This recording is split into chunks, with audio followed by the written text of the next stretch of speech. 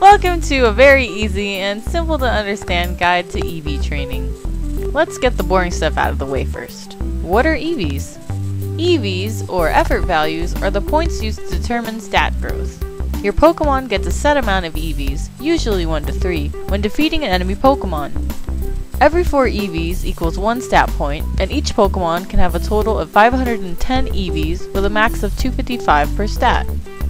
Since you need a multiple of 4 to be fully effective, you never want to go over 252 EVs in a single stat. But it's not the end of the world if you accidentally do. Okay, now that that's out of the way, let's get to the actual training. For this demonstration, we're gonna get 252 EVs in attack and speed, and 4 in HP. The first thing you need to do is, of course, to pick a Pokemon. Preferably one that's freshly bred or caught. Here is a list of good places to EV train in Black and White 2, but for now we only need to focus on two of them. Alright, enough with the boring stuff. Let's get to it. After you've chosen your Pokemon, you'll need these two things. Pokerus and a Macho Brace. Each of these things doubles the amount of EVs gained at a time, so having both makes every one EV become 4. So now it's time to meet your new best friend, vitamins. HP up, protein, iron, calcium, zinc, and carbos. A Pokemon can have up to 10 of a certain vitamin, and each one gives 10 EVs. We want to focus on attack and speed, so we're going to use 10 protein and 10 carbos. That takes care of 200 of our 510 EVs.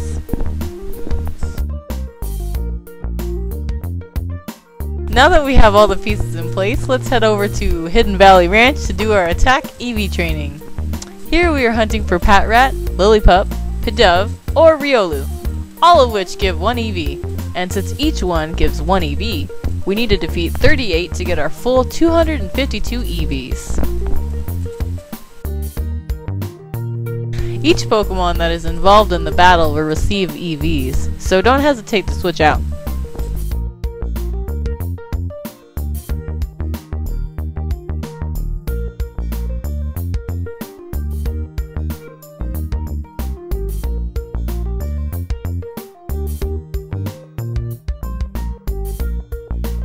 With attack finished, we're gonna head over to Route 1 to get some speed EVs from Basculin.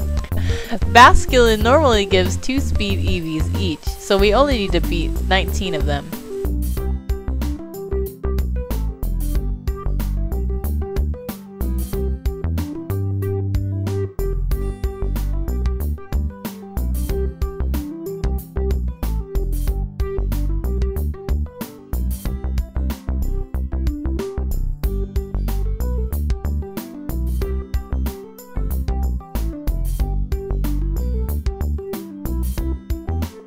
Don't worry about evolving, it doesn't reset EVs or anything.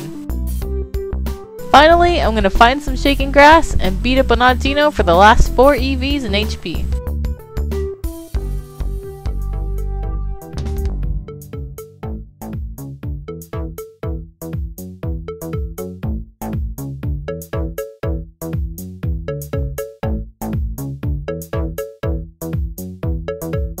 If you want to check if you did it right, just give Bianca a call and ask her to check your Pokemon's effort.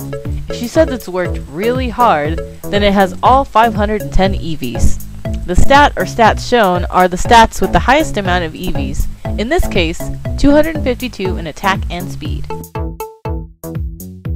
You can see that at level 100, Dragonite's attack and speed is much higher than they would be without EV training.